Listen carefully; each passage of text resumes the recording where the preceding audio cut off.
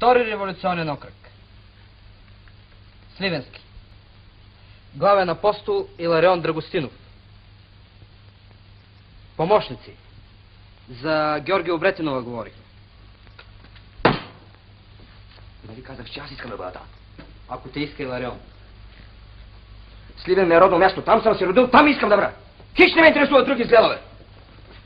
Иларионе, нали ще вземеш Икономова за помощ? Абе, да идва той, ма да се научи да ми се подчинява. Трети революционен окръг. Главен град Враца. Главен апостол Стоян Зеймов. Помощници.